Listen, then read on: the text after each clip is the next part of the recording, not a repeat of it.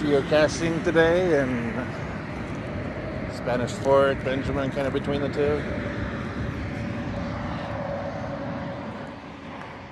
guessing it's going to be by this sign here. Yep. That was quick.